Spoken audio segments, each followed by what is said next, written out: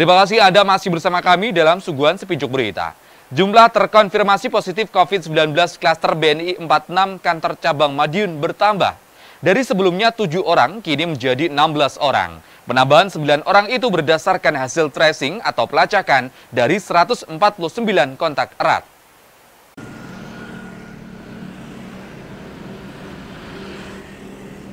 Pemerintah Kota Madiun terus melakukan pengembangan atas klaster BNI 46 kantor cabang Madiun. Pasalnya hasil tes swab PCR terhadap 149 kontak erat diketahui 9 orang terkonfirmasi positif COVID-19. Sementara upaya tracing terus diperluas oleh Pemkot Madiun. Wali Kota Madiun Maidi mengatakan kontak erat akan terus dikejar, termasuk nasabah BNI 46 yang melakukan kontak erat dengan karyawan BNI. Jika kembali kedapatan ada yang terkonfirmasi dari klaster BNI, maka bisa segera tertangani.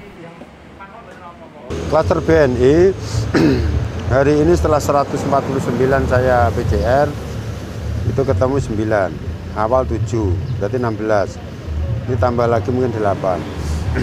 Dan hari ini saya PCR beberapa kelas yang anaknya sekolah itu saya PCR semua gurunya saya PCR semua. Nanti akan saya kembangkan lagi. Jadi kalau nanti saya kirim eh, satu sekolah itu ada yang positif kita kembangkan lagi. Ibunya itu namanya berapa hari?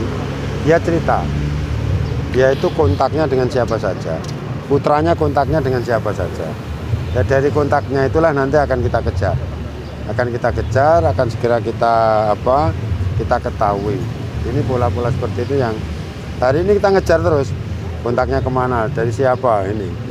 Sementara itu, Kepala Dinkes PPKB Kota Madiun Dr. Denny Uryani membenarkan ada penambahan 9 pasien terkonfirmasi dari klaster BNI.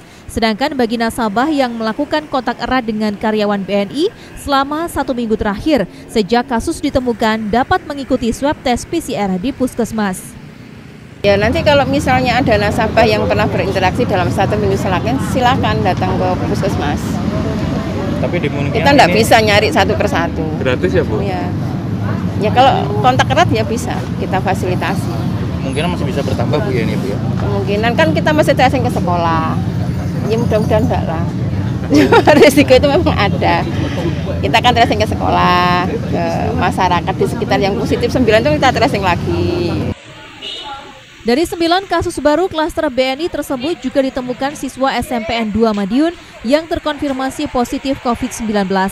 Pemkot telah melakukan tracing terhadap teman satu kelas serta guru dengan hasil tes antigen negatif. Kriswanto, JTV, Madiun.